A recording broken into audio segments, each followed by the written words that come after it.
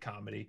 Uh, but yeah, there really hasn't been anything like new that I've been listening to. I guess it's just been the the same old classic hits, uh, which is what I whenever we go out on the road, whenever I'm driving, it's just like a like a radio station pretty much. We call So- it 101 the bass. Yeah, Tuning the into bass. 101 the bass. So it's give me- nothing but hits. KBSS. Give me Yeah, give yeah. me two two songs I would hear on 101 The Bass.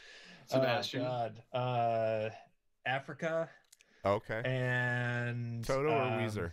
Yeah. Toto. I don't Come think we on, man. recognize the weed.